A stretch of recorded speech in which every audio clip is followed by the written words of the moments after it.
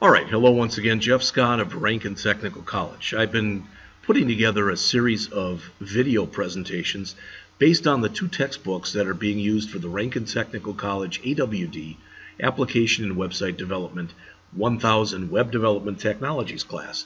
The two books are Murach's HTML5 and CSS3 4th edition, and I've already done over 20 uh, lectures on the uh, uh, those PowerPoints.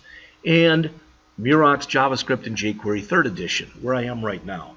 I've already done and completed lectures on chapters 1 through 7 and 13 through 16. Now I'm in the middle of chapter 17. There's 18 total chapters. So tomorrow when I come in, I'll do chapter 18 and then start on 8, 9, 10, 11, and 12 and see how much I can get done there. All right? So I'm in the middle, like I said, of chapter 17. This is the create method for the object. So notice how to use the create method to create a new object. All right, object.create. So it's the same thing as using this. All right. And with some of this stuff, sometimes people say, well, one way is easier than the other. Then use that way. Why do we, why do we have two ways? Sometimes a more antiquated way or a longer way was created to begin with, and then a shorter way comes. Sometimes the, the longer way allows you to do things that you can't do with a shorter way. All right, so here's a custom prototype object with a method. All right, here's one that we do, and again, we're doing it with the create method, so we're adding a bunch of stuff to it in there. All right. Now, we'll talk about factory functions. So let's look what I like to do with this, and you don't have to do this. I guess you kind of have to watch, but I'm going out to Wikipedia. All right, and in Wikipedia here, I spelled it wrong.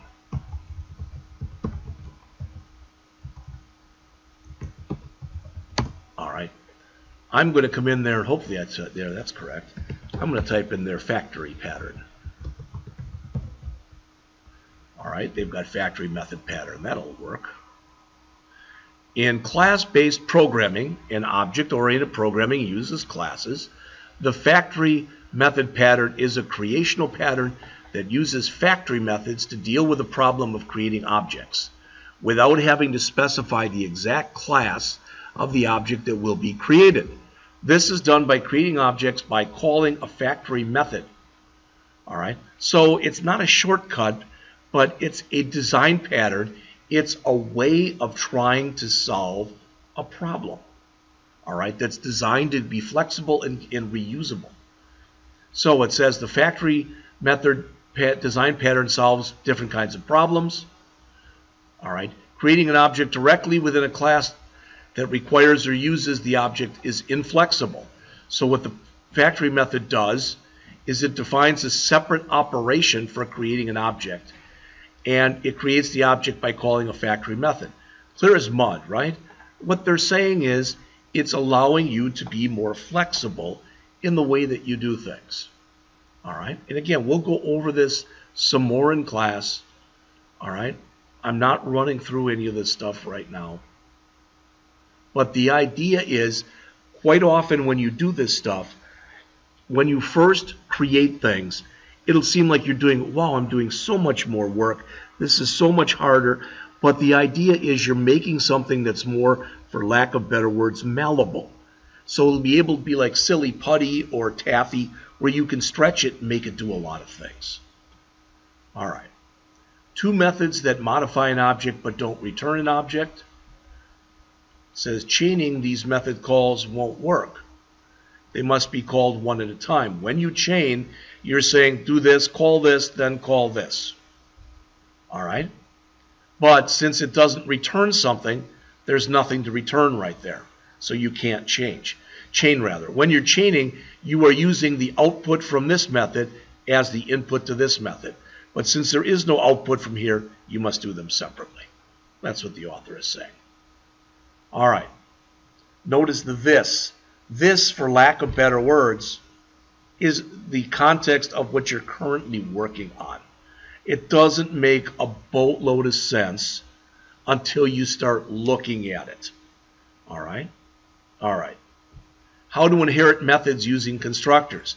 This is not the way inheritance takes place in a true object-oriented programming language. In C Sharp, for example, if I wanted to create a new, uh, if I want a commission to inherit from percent, I'd say commission colon percent. If I wanted to do it in Java, I'd say that would be class commission colon percent. If I wanted to do it in Java, it would be class commission extends percent.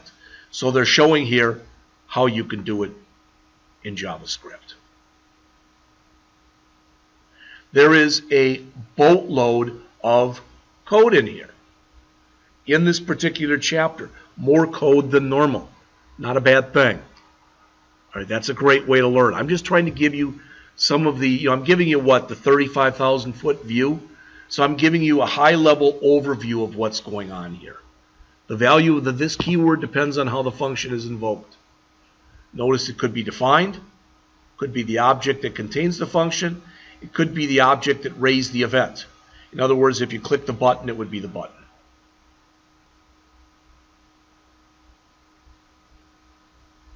So they come back again, and notice on here, now we add tasks. We can bring up the date picker and add a new task. All right. We can clear any task we want, or we can clear all tasks. I kind of like that. All right. There's the HTML for it, the CSS, and the JavaScript. Where again, they're coming in and they are using um,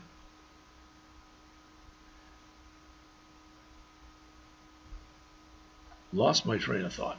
All right. They're using an existing example, all right, for lack of better words. And here's that countdown app we looked at earlier. They're using libraries again, a change calculator, and that pig game that they had a long time ago, along with our old tried and true miles per gallon program. So that's it for this chapter. Now, the next chapter that I will go over, not today, I don't have time, my students will be coming in shortly, but the next chapter is chapter 18, by far the hardest chapter in the book. How to create and use closures, what are called IIFEs, the module pattern, and plugins. All right, so I will start with that tomorrow. When I get done with that, I will be going through uh, where is it? Afterwards, I'm going to start on the second section. This is all jQuery. So 1 to 7 was basically all JavaScript. Much of 13 through 18 was also just vanilla Java, generic JavaScript. 8 through 12 is jQuery, which is a JavaScript library. So tomorrow I'll start with 18 and I'll jump into 8, 9, 10, 11, and 12. My hope is to have this done by the end of the week. You know, and, and it is the middle of February, so that probably won't matter to any of you anyway.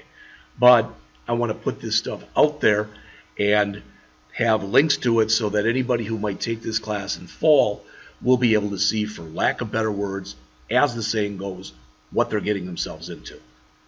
Lastly, if I can finish this, get done with 18, 8, 9, 10, 11, and 12 by this week, then starting next week, over probably about the next three weeks, I'm going to build a website.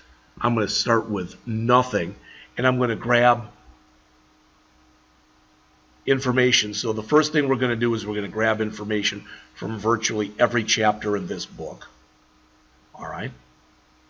And then when we get done with that, we'll go over to this book and we'll add some JavaScript and some jQuery and some of this stuff. I probably won't create my own object. I probably won't have IIFEs, etc. in here. All right? But again, I just wanted you to know where we currently stand in here what we have been working on, what we will continue to be working on. Okay? Thanks for listening.